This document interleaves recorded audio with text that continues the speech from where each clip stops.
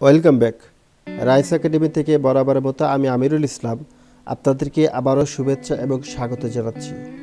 বন্ধুরা, আজকে আমি আপনাদেরকে দেখাবো মাইক্রোসফট ওয়ার্ডের একটি টিপস অ্যান্ড টিক্স অনেক সময় আমাদের মাইক্রোসফট ওয়ার্ডের এমন কিছু ডকুমেন্ট থাকে, যেখানে আমাদের কাভার পেজ থাকে ইন্ট্রোডাকশন পেজ থাকে এবং ডিসক্রিপশন পেজ থাকে। তো সেক্ষেত্রে আমাদের যদি ওই সকল ডকুমেন্টগুলোর ক্ষেত্রে যদি পেজ নাম্বারিংয়ের প্রয়োজন হয় সেটা আমরা সাধারণত কীভাবে করে থাকি? বন্ধুরা, দেখতে পাচ্ছেন আমি একটা Microsoft Word document file open করে আছি, যেখানে আমার এই ডকুমেন্টের টোটাল পেজ সংখ্যা হচ্ছে বারোটি। এটি হচ্ছে আমার এই ডকুমেন্টের কাভার পেজ এবং আমার এই ডকুমেন্টের মূল বিষয়বস্তুটা সেকেন্ড পেজ থেকে স্টার্ট হয়েছে। তো আমি চাচ্ছি যে আমার ডকুমেন্টের পেজ নাম্বারিং করতে। তো নর্মালি আমরা পেজ নাম্বারটা কীভাবে করি? নর্মালি আমরা পেজ নাম্বারটা যেটা করে থাকি ইনসার্ট ট্যাবে গিয়ে পেজ নাম্বারিং অপশন থেকে, সাধারণত আমরা পেজ নাম্বারগুলো করে থাকি টপেও করে থাকি এবং অনেক সময় আমরা বটমেও করে থাকি, অর্থাৎ ফুটারেও করে থাকি। তা আমি চাচ্ছি যে পেজ নাম্বারটা ফুটারে করতে। সেটার জন্য আমি যেটা করব বটম পেজ সিলেক্ট করে দেন এখান থেকে আমি ফুটারের মিডল পয়েন্টে পেজ নাম্বারটা সিলেক্ট করে দেবো। দেন এখান থেকে যখন মাউস চাপ দেবো, দেখেন, এখন এক্ষেত্রে কিন্তু আমার ফুটারের প্রত্যেকটা পেজে অটোমেটিকভাবে পেজ নাম্বার সেট হয়ে গেছে। কিন্তু আমি চাচ্ছি যে না, আমার যে কাভার পেজটা কাভার পেজটাতে কোনো ধরনের কোনো পেজ নাম্বার থাকবে না। আমার মূল বিষয়বস্তুটা যে পেজ থেকে স্টার্ট হয়েছে সেই পেজ থেকে পেজ নাম্বারটা আমি সেট করতে চাচ্ছি। তো এটা করার জন্য আমরা কি করব?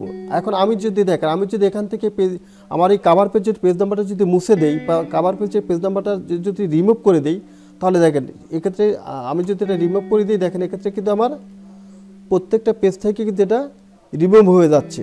তা আমি চাচ্ছি যে না, আমার মূল বিষয়বস্তুটা যে পেজ থেকে স্টার্ট হয়েছে, সেই পেজগুলো থেকে আমার পেজ নাম্বারটা থাকবে বাট আমার কাভার পেজে কোনো পেজ নাম্বার থাকবে না। কিন্তু আমি যখন এখান থেকে কাভার পেজ থেকে যখন পেজ নাম্বারটা মুছে দিচ্ছি, তখন কিন্তু আমার সবগুলো পেজ থেকে কিন্তু এটুকু অটোমেটিকভাবে মুছে যাচ্ছে। তো তাহলে আমি এটা কীভাবে করতে পারি? তাহলে আমি কাভার পেজটাকে বাদ দিয়ে বাদ বাকি পেজগুলো থেকে পেজ নাম্বারটা কীভাবে করতে পারি? তো বন্ধুরা, তো এটা করার জন্য যেটা করতে হবে, এটা করার জন্য আপনি যে পেজ থেকে পেজ নাম্বারটা রাখতে চাচ্ছেন, সেই পেজে মাউসটাকে সিলেক্ট করে দেন আপনি যেটা করবেন, এই যে দেখেন এখানে পেজ লেআউট পেজ লেআউটে যাওয়ার পরে আপনি এখানে দেখেন প্রেস ব্রেক প্রেস ব্রেক থেকে নেক্সট পেজ আপনি যখন নেক্সট পেজ সিলেক্ট করবেন দেন কি করবেন? দেন চলে যাবেন ইনসার্ট ইনসার্টে যাওয়ার পর এখান থেকে পেজ নাম্বারিং পেজ নাম্বারিং করার পর যদি সেটা আপনার ফুটার পেজ নাম্বারটাই দিতে চান সেমভাবে বোটম পেজ সিলেক্ট করবেন দেন এখান থেকে সিলেক্ট করবেন। এখন দেখেন, এখন কিন্তু আমার প্রত্যেকটা পেজেই পেজ নাম্বারটা চলে এসেছে।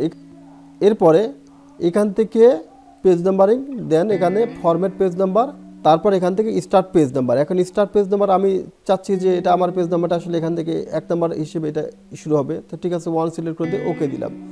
ওকে দেওয়ার পর দেখেন এখান থেকে আমার প্রত্যেকটা পেজে কিন্তু এখন ওয়ান টু থ্রি এভাবে পেজ নাম্বারটা স্টার্ট হয়ে গেছে। বাট এটি খেয়াল করেন আমার এখানে কিন্তু এখানে কাভার পেজে কিন্তু পেজ নাম্বারটা শো করতেছে। তা আমি চাচ্ছি কাভার পেজে পেজ নাম্বারটা না রাখতে। তো এখন আমি কি করব? এখন আমি যেটা করব এই যে দেখেন লিঙ্ক টু প্রিভিয়াস এই সিলেক্টেড অপশনটাকে কি করব? ডিসিলেক্ট করে দেব। ডিসিলেক্ট করার পরে দেন আমি কাবার পেজে যেহেতু আমি পেজ নাম্বারটা রাখতে চাচ্ছি না কাভার পেজের এই পেজ নাম্বারটা এরপর আমি কি? ডিলেট হিসেবে রিমুভ করে দেব। এরপর যদি আমি নর্মাল ভিউতে যাই, দেখেন এখন আমার কাবার পেজে কোনো পেজ নাম্বার নেই। কিন্তু আমার সেকেন্ড পেজ থেকে পেজ নাম্বারটা স্টার্ট হয়েছে। এইভাবে কিন্তু ইজিলি আমাদের যে সকল মাইক্রোসফট ওয়ার্ড ডকুমেন্টগুলোতে কাবার পেজ থাকে ইন্ট্রোডাকশন পেজ থাকে এবং আমরা চাই সেই সকল পেজগুলোতে কোনো পেজ নাম্বার না রেখে আমার মূল বিষয়বস্তুটা যে পেজ থেকে স্টার্ট হবে সেই পেজগুলোতে নাম্বারিং করতে। তো এইভাবে কিন্তু ইজিলিভাবে আমরা কাজটা করতে পারি। তো বন্ধুরা, আজকের টিপস অ্যান্ড টিক্সটি আপনাদের কেমন লাগল? যদি টিপস অ্যান্ড টিক্সটি আপনাদের ভালো লেগে থাকে, তো প্লিজ একটি কমেন্ট এবং লাইক দিয়ে সেটি জানিয়ে দিবেন। সর্বোপরি, আমার আপডেটেড টিউটোরিয়ালগুলো পেতে চাইলে এখনই চ্যানেলটিকে সাবস্ক্রাইব করে পাশে থাকা বেল আইকনটিতে চাপ দিয়ে রাখুন।